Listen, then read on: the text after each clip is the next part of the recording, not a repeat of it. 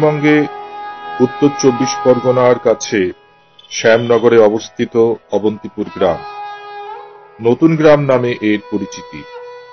শিয়ালদা থেকে ট্রেনে এক ঘন্টায় পৌঁছে যাওয়া যায় শ্যামনগরে। সেখান থেকে অটোতে কিছু সময়ের মধ্যে আশ্রমে আসা যায়। এখানে নির্জন এক প্রান্তরে গড়ে উঠেছে এই আশ্রম।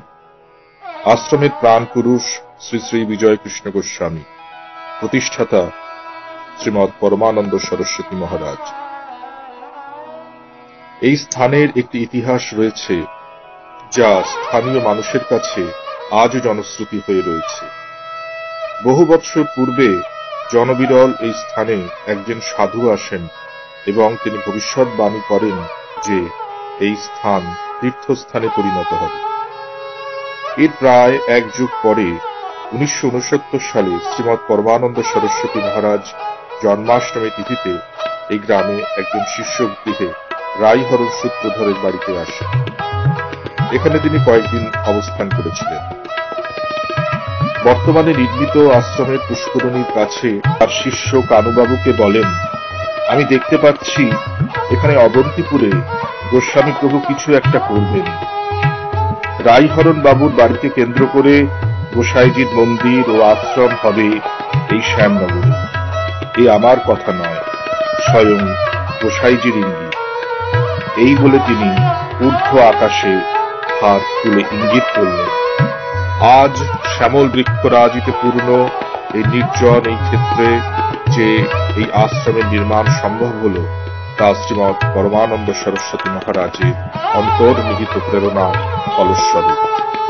যুগে যুগে নির্জনে ভগবান তার প্রেমের রূপকে দিয়ে এভাবেই সম্পন্ন করেন কালের প্রয়োজনীয় পাথেয় আজ এখানে যে আশ্রম গড়ে উঠেছে, তার বৃহৎ অভিপ্রায় আমাদের অজানা থাকলেও যিনি প্রত্যেক জীবের মননের গভীরে আছেন, তার কোনো কিছুই অজানা নয়। শ্রী শ্রী ঠাকুর পরমানন্দজি চেয়েছিলেন পৃথিবীটা স্বর্গ হয়ে যায়। দিব্য জীবন লাভ করে মানুষ হোক বিধাতার কণ্ঠপাত এই জীবন দর্শনকে বাস্তবে রূপ দেওয়া শ্রী শ্রী ঠাকুরজির ছিল সারা জীবনের স্বপ্ন। তিনি স্বপ্ন দেখেছিলেন কিছু মানুষ তৈরি হোক, যারা পরম আদর্শকে সামনে রেখে এগিয়ে আসবেন, সনাতন আদর্শকে প্রতিষ্ঠা করতে এই দেবভূমিতে সেই আদর্শের বাস্তবায়ন ঘটাতে কামাখ্যা, নরেন্দ্রপুর, দুর্গানগরে স্থাপিত হয়েছিল শ্রী শ্রী বিজয় কৃষ্ণ সাধনাশ্রম। আজ দু সালে শ্যামনগরে স্থাপিত হল শ্রী শ্রী বিজয় কৃষ্ণ সাধনাশ্রমের এই পূর্ণাঙ্গ রূপটি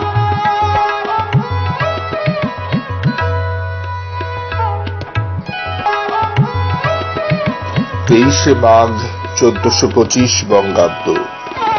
ইংরেজি ছয়ই ফেব্রুয়ারি দু সাল। ব্রাহ্ম মুহূর্ত চারটে বেজে পঞ্চান্ন মিনিট, উৎসব ধ্বনি বেজে উঠল আশ্রম প্রাঙ্গণে। শ্রী শ্রী ঠাকুরের অন্তরের ইচ্ছার প্রতিধ্বনি জাগ্রত হয়েছে এই শ্যামনগর আশ্রম উৎসব মুখরিত অঙ্গনে। তিনি অলক্ষ্যে উপস্থিত থেকে সমগ্র কিছু চালনা করে চলেছেন। এবারে সেই উৎসব ভূমিতে আমরা প্রবেশ করি।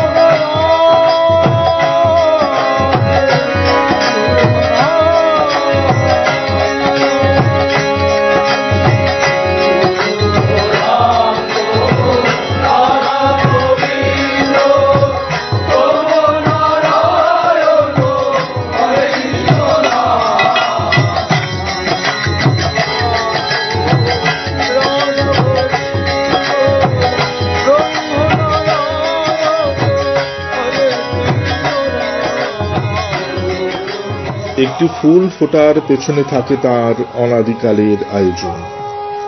এই আশ্রম গড়ার সকল প্রেরণা ও উৎসাহের যিনি আদি উৎস, সর্বকারণের যিনি কারণ, কত যুগ যুগান্তর ধরে তিনি এর আয়োজন করেছেন। এর অগোচর অতীত, পশ্চাৎ পটভূমি এবং এই পরিদৃষ্ট বর্তমান তারই রচিত।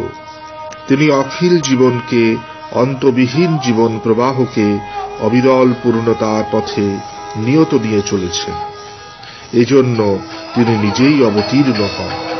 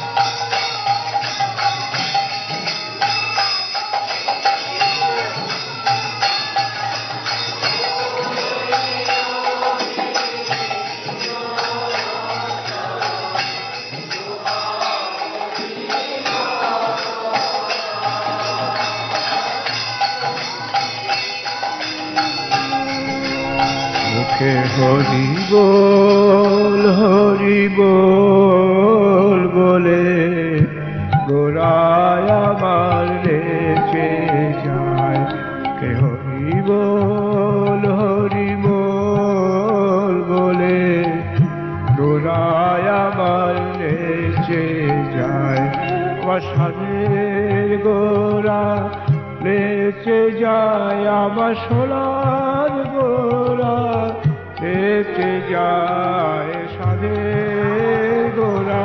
আনন্দের দিব্যশিখা জ্বলে উঠেছে উৎসব মুখরিত অঙ্গনে। বহু দূর দূরান্ত থেকে এসেছে বহু মানুষ তাদের অমোঘ আকর্ষণে। উৎসব আগিনায় তাদের প্রাণ পুরুষের দিব্য বিভূতি সত্তার গভীরে জ্বালিয়ে এই আনন্দযজ্ঞের সামিল হয়েছেন।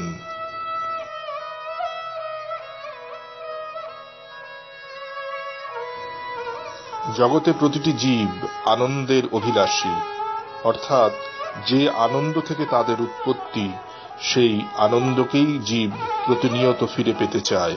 অনন্ত কোটি ব্রহ্মাণ্ডের নায়ক শ্রী ভগবান যুগে যুগে আনন্দের ক্ষেত্র প্রস্তুত করে এসেছেন। আড়ালে থেকে তিনি জেলে চলেন মনের প্রদীপখানি তমসার গভীরে প্রাণ শিকার স্পর্শে তিনি সরিয়ে দেন সব মলিনতা। তিনি অবস্থান করছেন সর্বস্থানে, সর্ব অবস্থায়। এটি জানানোর জন্যই যে এত আয়োজন। আত্মিক মৃত্যু থেকে উদ্ধার করতে যুগে যুগে তিনি তার দূত পাঠান। কখনো নিজে নেমে আসেন ধরার ধুলোয় ধর্ম সংস্থাপনায় সম্ভবান যুগে যুগে এই প্রতিশ্রুতি করেন পূর্ণ। এমনি করে তিনি তা সৃষ্টিকে রক্ষা করেন, ধন্য করেন।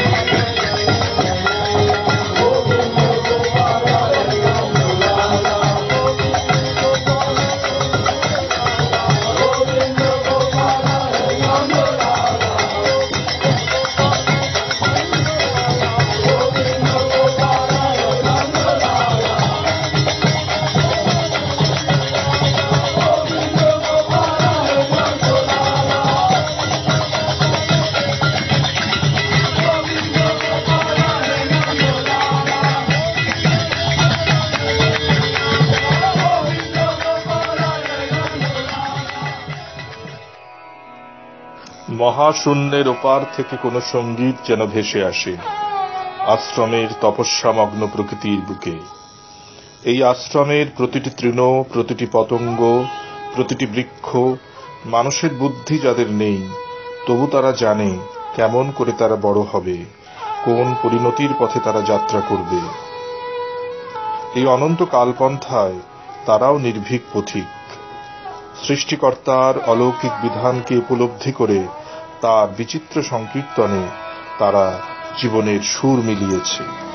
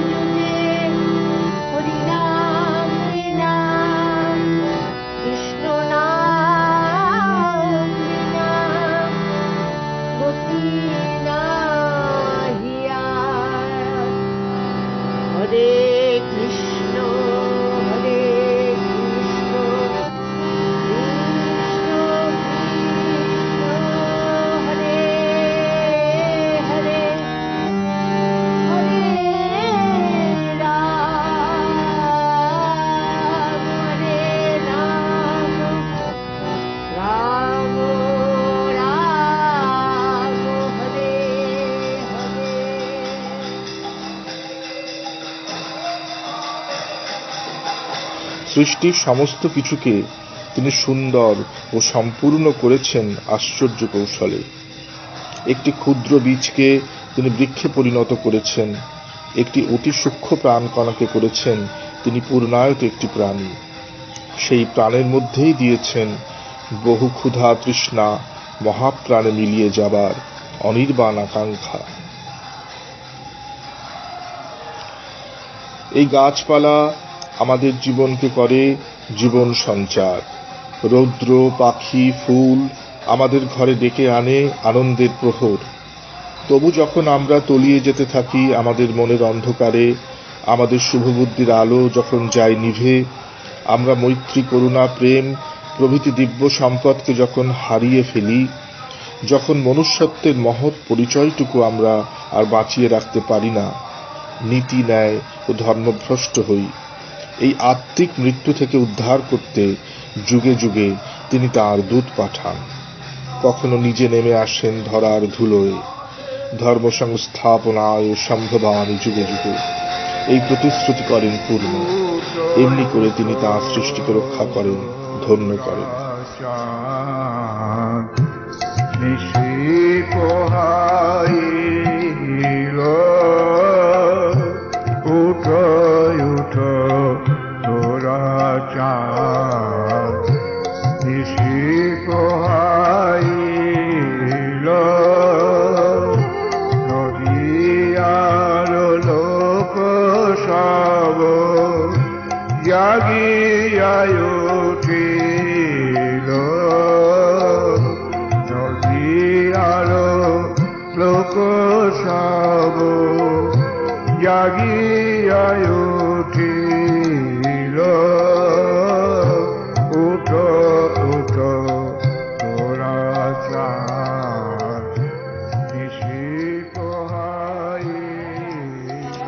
আশ্রম গড়ে ওঠার শুভ ইচ্ছার শিখা অলক্ষ্যে থেকে জ্বেলেছেন তিনি বহু মনে এই নবনির্মিত আশ্রম শ্রী শ্রী ঠাকুরজের ইচ্ছার আলোর একটি স্ফুলিঙ্গ, যা অনাদিকালের গর্ভ থেকে উদ্ভাসিত হয়ে উঠেছে। তিনি অলক্ষ্যে আশ্রম গড়ার কাজে সহায় হয়েছেন। কত পথের বাধা, কর্মের সংকট, অর্থের অভাব দূর করেছেন। কত স্বপ্নে ও মনে প্রেরণা দিয়ে উৎসাহ সঞ্চার করেছেন।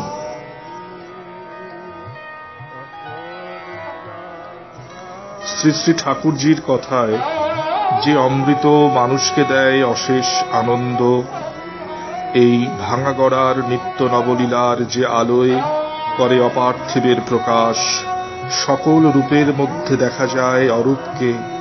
ক্লান্তিবিহীন অমর প্রাণের ফুল ফোটানোর খেলাকে অনুভব করা যায়। অন্যেরাও এর অংশীদার হোক।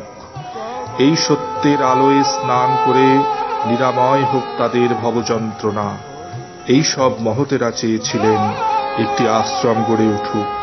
সেখানে থাকবে উপাদেয়, ভাব, রস, পুষ্টির অনুকূল, অমূল্য গ্রন্থরাজি সেখানে হবে শ্রবণ মঙ্গল, তার নাম গান লীলাগুণ কীর্তন। শাস্ত্র পাঠ ও পঠনের থাকবে উপযুক্ত ব্যবস্থা। আশ্রমের শান্তির আশ্রয়ে মাঝে মাঝে এসে বাস করবেন তারা, আর সাধকেরা পাবেন তপস্যার সুযোগ।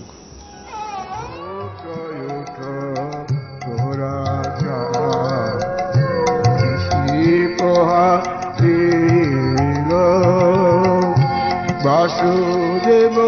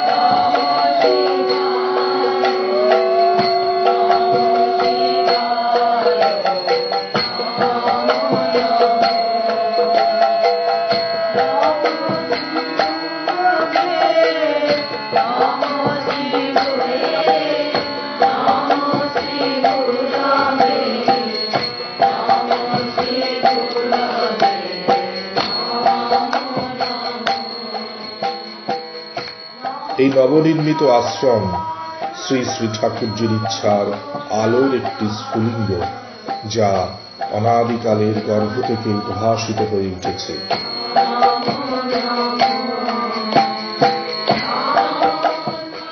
আশ্রম কথা গ্রন্থে শ্রীমৎ পরমানন্দ সরস্বতী মহারাজ এক জায়গায় বলছেন, এই জগতের কর্তা একজন তিনি সব করছেন। মানুষ কি করতে পারে? তার শক্তি কতটুকু? মানুষ তুচ্ছ তুচ্ছ। আজ আছে, কাল সে থাকে না। এত সাধের শরীরটাকে সে জরার ক্ষয় থেকে, মৃত্যুর নির্দয় মুষ্টি থেকে পারে না বাঁচাতে। আশ্রমটি তার ইচ্ছাতে হচ্ছে। তাই যখন যা প্রয়োজন জুটিয়ে দিচ্ছেন তিনি। গীতায় আছে, তিনি বুদ্ধিযোগ প্রেরণ করেন। এদের মনে তিনি শুভবুদ্ধির আলো জেলে দিয়েছেন। তিনি দিলে তবে আমরা পাই। তিনি যে আমাদের একটি পবিত্র কাজে নিমিত্ত করেছেন, এতেই আমরা ধন্য। এইভাবে ক্ষণে ক্ষণে তিনি দিচ্ছেন অভয় ও আশ্বাস। আড়াল থেকে যোগাচ্ছেন শক্তি ও সম্পদ।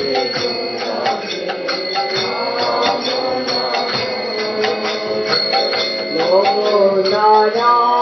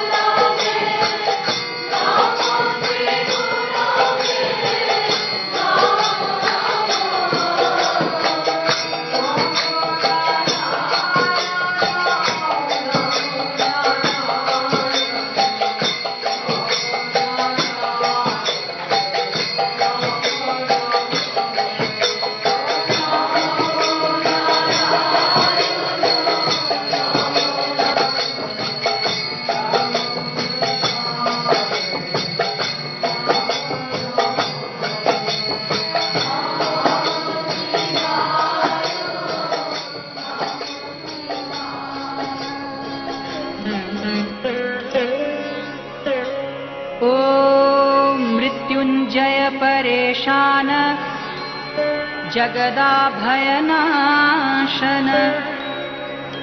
तव ध्यानेन देवेश मृत्युः प्राप्नोति जीवति।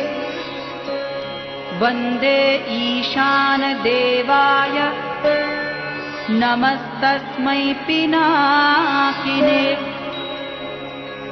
आदिमध्यान्तरूपाय मृत्युनाशं करोतु मे।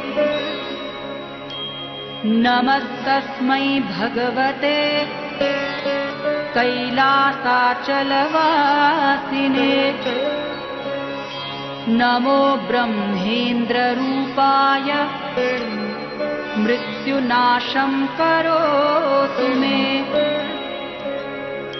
त्र्यम्बकाय नमस्तुभ्यं पञ्चस्याय नमो नमः। नमो दोर्दण्डचापाय। मम मृत्युं विनाशय। नमोर्धेन्दुस्वरूपाय। नमो दिग्वसनाय च।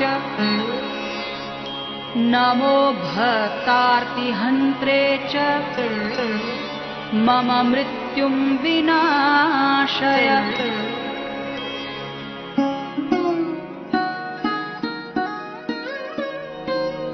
देवं मृत्युविनाशनं भयहरम् साम्राज्यमुक्तिप्रदम्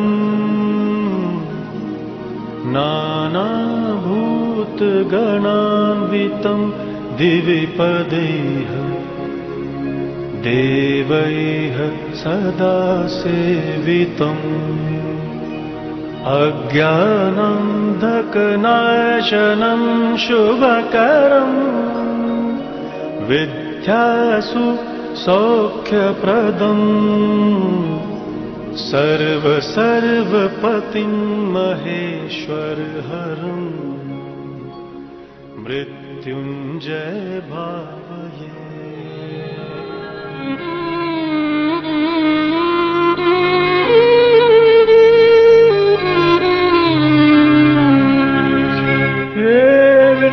করে আবার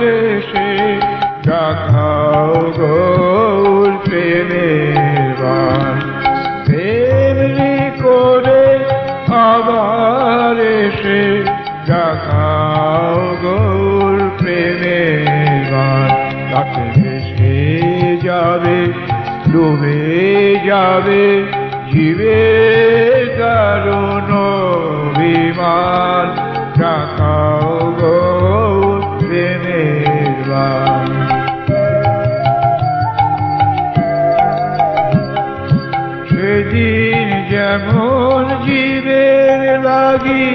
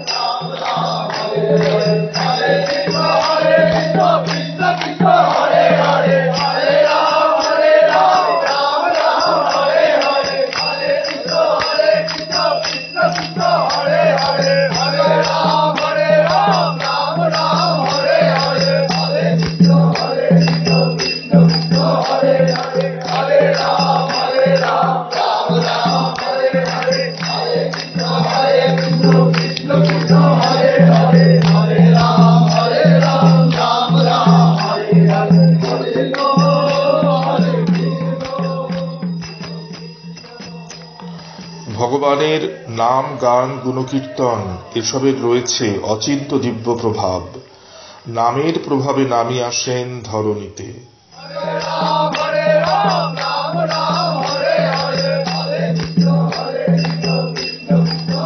এই আলোড়িত নাম সংকীর্তনের ধ্বনির সাথে শ্রী শ্রী ঠাকুরের নীরব উপস্থিতি, উৎসব প্রাঙ্গণে লক্ষ্য করা গিয়েছে। আমাদের চেতনা আনন্দে হর্ষে উদ্বেল হয়েছে।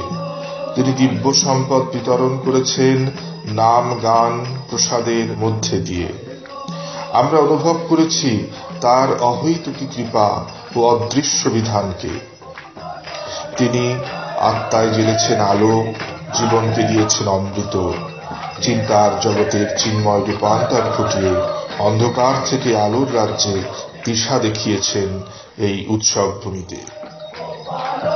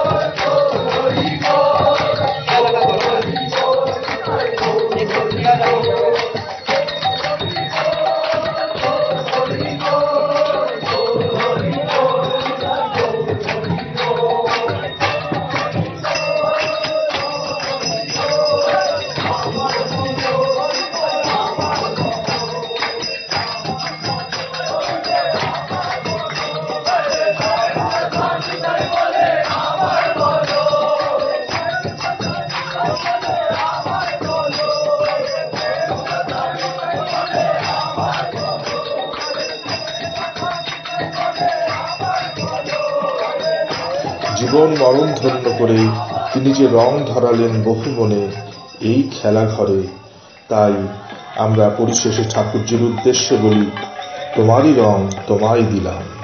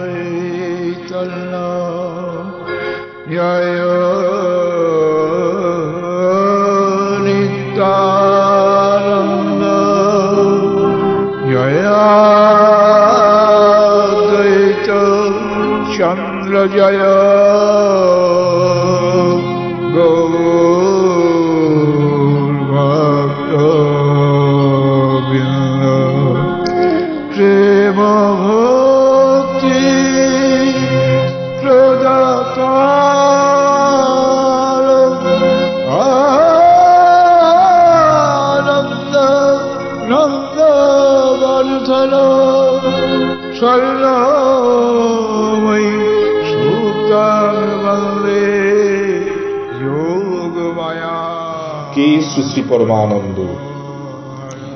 শ্রী সীতারাম দাস ওঙ্কারনাথ মহারাজ বলছেন, যিনি সর্বভূতের আনন্দ স্বরূপে নিত্য বিরাজ করছেন, তিনি শ্রী শ্রী পরমানন্দ সদানন্দময়ী